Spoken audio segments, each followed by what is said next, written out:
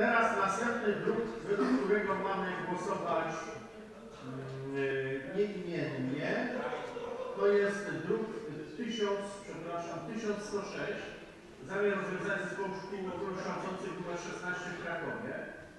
Tak.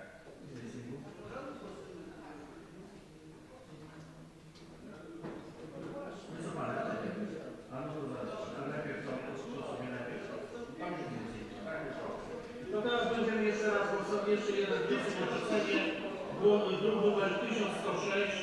Kto z Państwa radnych jest za wnioskiem o odrzucenie w pierwszym czytaniu projektu uchwały w sprawie rozwiązania szkół ogólnokształcących przy osiągnięciu niepodległości. Kto jest za, kto jest przeciw, kto się wstrzymał, czy ktoś jeszcze głosuje?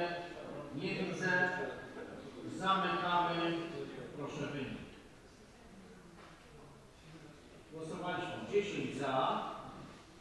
30 przeciw, brak wstrzymujących się, jedna osoba nie brała udziału w głosowaniu. Stwierdzam, że Rada nie przyjęła wniosku o odrzucenie. I to by było tyle, jeśli chodzi o głosowania.